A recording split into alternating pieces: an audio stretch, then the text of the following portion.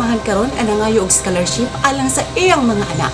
Ug aron mahisabtan ninyo ang tanan kung ngano nga mangayo siya og scholarship sa ironta ang iyang saysay.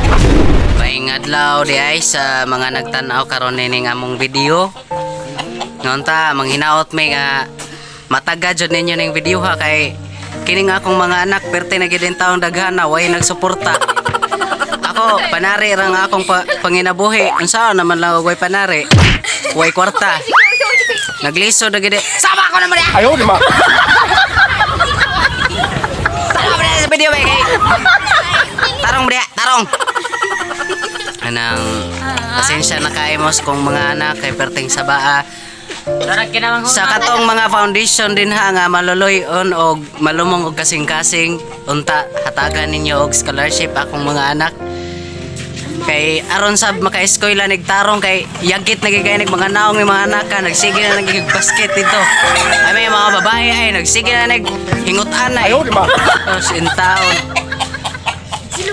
Sa baa pa ning manok ka. Tarong mo diya, tarong. Dara ka mong mahal, hindi ko dra. Mao na nga ma, sa katong mga malumong og kasing-kasing unta hatagan ninyo og scholarship ang akong mga anak aron makalampos sa pag-eskwela sa baa gining manok ka oy. Tagaan ng tawag scholarship ng akong mga anak. Ay ko na magsignisi dia. Seryoso ko nang naong, seryoso. Aron sa tagan tag scholarship ani. Kaya di tayo tagag, di tayo tagag scholarship pag dili ta mag sineryoso. Sa baba!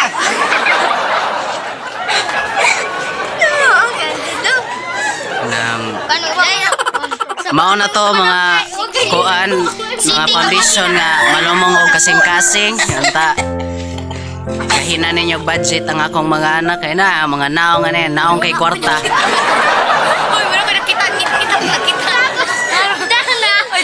Ay napoy uban diri nga mga anak nako tungod sa kaway grado wa na mga buo. Unsa na ba oh. Class 1, equals 11.